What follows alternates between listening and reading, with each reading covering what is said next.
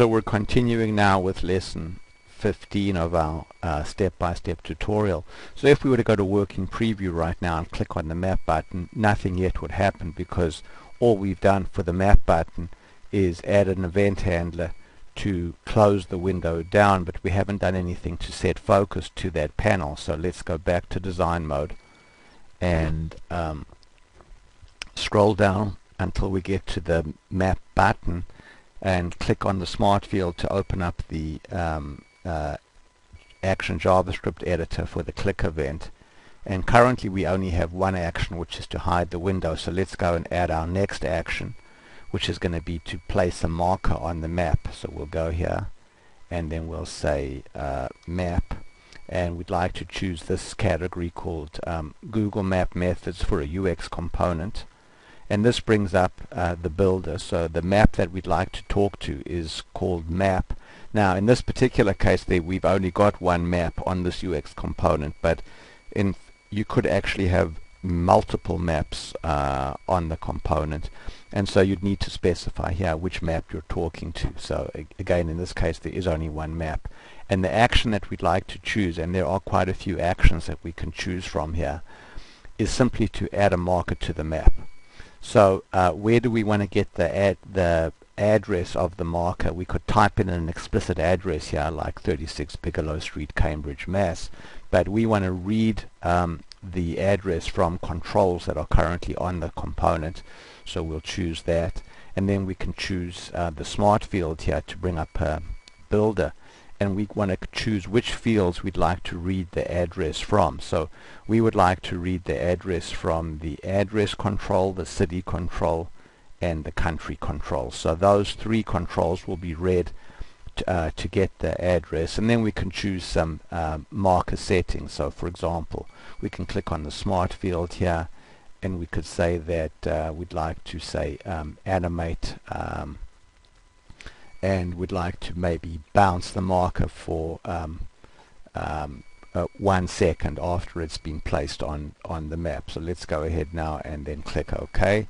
Click OK again. So now we've got two actions in our action JavaScript but we still uh, haven't given focus to the map panel itself. So let's go here and add a third action called uh, panel actions and again we'll go there and we'll say that we'd like to set the active panel. And this time we're going to choose the panel underbar map. So now we've got three different actions in our action JavaScript. Let's save this now. Go to working preview. Click on the first row. Now go to map. And that brings the uh, map into focus. And you can see that as the map came into focus the marker was still bouncing around. So let's go back to a different customer. Let's go to uh, this customer here in Mexico City. Now go to the map, uh, click on map. You can see now the map comes up and uh, the animation is taking place and we're now looking at the um, we're looking at the uh, map um, uh, with the marker for Mexico. But let's go back now. You can see that this map is not completely filling the panel card that it's in. So let's go back to the panel that has the map and you can see there's a property now called fill container. So now this map is going to completely fill the container. So let's go back again now to working preview and see if we can see any difference. So go to menu now, click on map and you can see now the map is completely filling the panel card um, that it's on. Um, now you can also see that if I drag on the uh, header here that we're going back to the previous uh, panel.